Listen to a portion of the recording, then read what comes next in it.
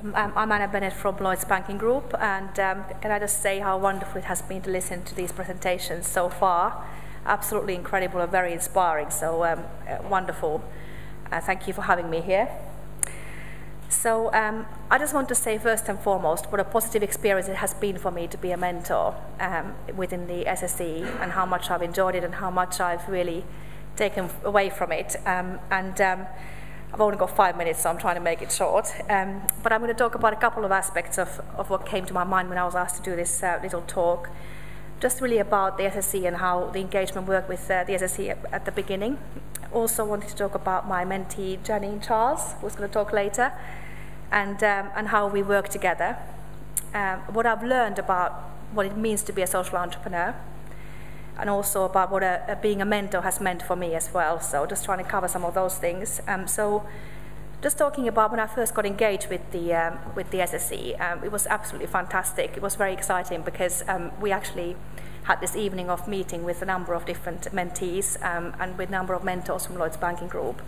We met in this social entrepreneur kind of type cafe, which I probably would have never actually stepped inside just only because you know I think I'm probably one of those corporate people that works all the time. But um, but you know it was just really nice, and, and there was a real vibe and a real nice feeling around what this whole thing was going to mean and how we're going to work together.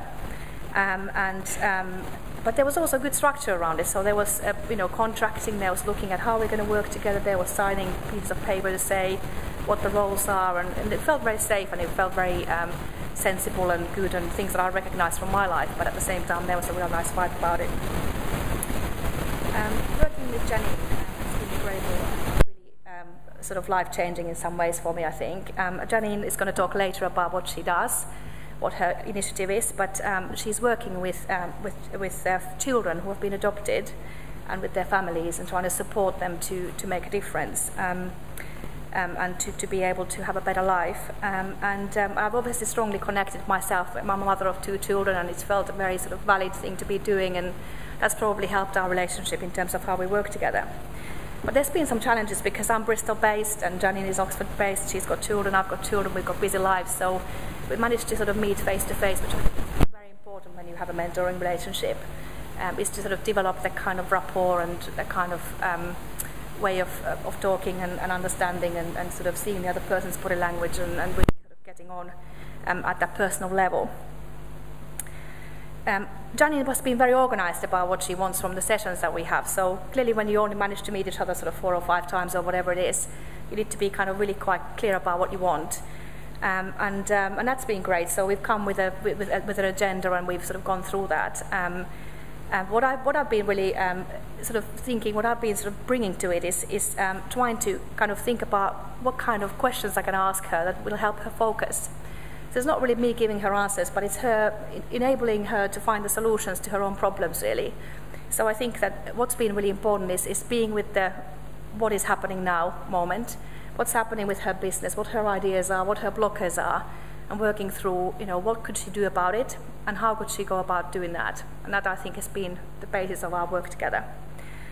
And I think the value I brought, you know, and Janine can contradict me don't, um, has been, I think, really the main, the main aspect of being a mentor is, is to have someone that listens to you from your own angle.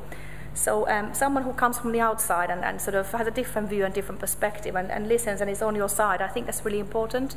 I think some people have referenced that sense of sharing and, and what's important about that. So, um, so certainly that, that, that, I think from our discussions has been what Janine has hopefully taken out of it. Um, and this brings me smoothly to what I have learned, um, being, a, uh, being a mentor um, to a, a, person with a social entrepreneur type company or initiative. Um, and I'm going to read from to you just from Wikipedia because, you know, I was thinking, how do I make the structure? Because I'm a banker. So, um, social entrepreneurship is the process of pursuing suitable solutions to social problems. More specifically, social entrepreneurs adopt a mission to create and sustain social value. They pursue opportunities to serve this mission while continuously adapting and learning.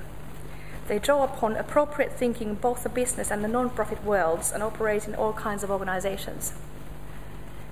Now, immediately I thought, this is great. There's lots here which I really recognize. So, looking at some of those things and the key success factors for Janine's business, I think have been pursuing suitable solutions to social problems. So this is all about creativity, isn't it? It's about, all about thinking, how do, I, how do I solve this problem? What do I do to solve this issue I'm facing? And social entrepreneurs often are facing issues that nobody else is facing because their business models are different. So, you know, there's a, a different kind of issue there. Adopting a mission. Well, I think it takes a hell of a lot of determination and a hell of a lot of uh, personal courage to be a social entrepreneur. You know, you need to really believe in what you're doing. You need to wake up every morning to pursue your mission and it, you know it really is something I really respect um, and certainly having heard from people today really incredible social value social value is something about deeply held personal beliefs um, and I think that's I think probably all of us have heard that tonight but there's something about that and um, and it's so important um, for all social entrepreneurs to appreciate that they are the driving force of their business and if they put too much pressure on themselves that can really cause it to be difficult because they are the creative force. So it's tempering the rate of business growth because otherwise you may go too fast. That, that's what I think I've learned. Um, and the last thing is about adapting and learning. Um, so um, it is around having an open mind and always thinking, hmm, how do I take this problem? How do I, how do I change it? And it's also about using your contacts. You know, who are my contacts? Who can I draw upon? How can I make a best combination of what I have? It's about using your resources wisely.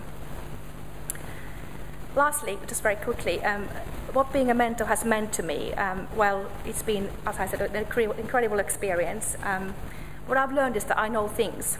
You know, when you work in a big organization like a bank, or I'm sure some of you work in other big organizations as well, um, you know, you kind of do your role and you go to work and you do your thing. But actually, it's been very interesting that I think I've been able to help, which has been great for me personally. I've really enjoyed that and that's where I've really taken pleasure out of that actually, and it's kind of really been very self-affirming. So um, I'm very uh, happy about that. And from a developmental perspective, um, I think it's about seeing the world from a different angle. So it's actually looking at the world and not seeing it from your own perspective as a banker or as a whoever might be a mentor, you know, whether you're an insurance broker or whether you might be. It's actually sort of looking at it from a perspective of a different kind of, um, you know, lens or person or trying to do something very different. Um, and also, I think it's been great for my coaching skills because, you know, when you listen to someone, you think, oh, what's the best question to ask now to help them the most? So um, that's been great. So um, that's really what I want to say from a mentor's perspective. Um, thank you very much.